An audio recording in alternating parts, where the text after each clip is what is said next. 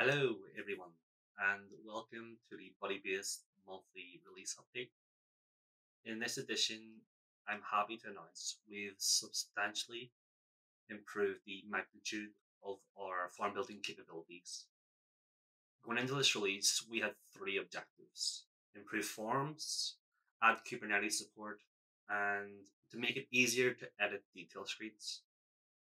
And we're pretty confident we've nailed it. So let's jump right in.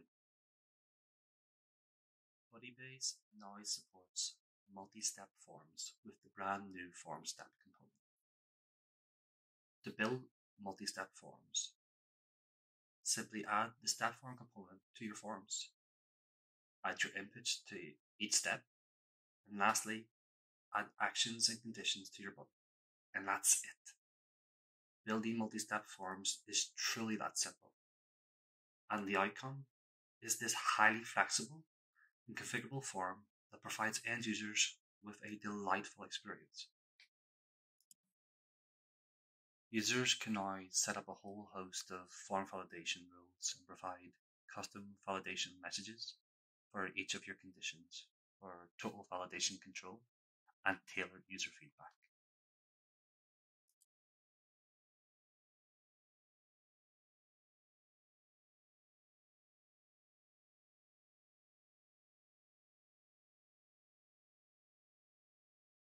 Users can now edit a record within the same screen within a modal. Previous to this feature, you had to open a new screen to edit a record. This was a tedious process for making quick changes. Implementing this new feature in your apps is as simple as clicking a checkbox, and I believe it will dramatically improve the user experience for end users.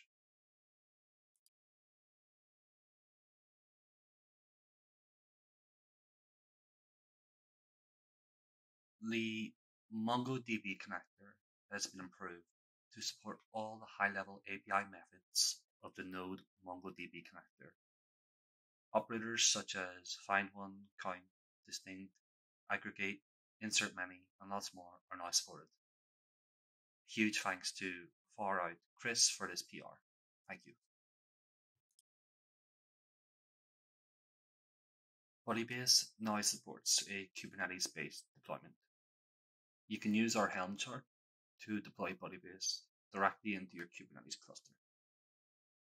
We've documented this process and how to get started with Kubernetes uh, inside our documentation, which you can find at docs.budibase.com. I'll add a link to the description below. And that's it for the August release.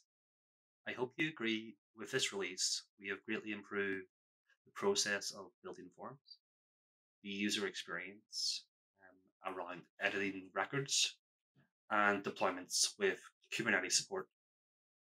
I would like to thank our community for their continued support. I'd also like to thank our core team who work around the clock to deliver these incredible features that make building internal tools an enjoyable process.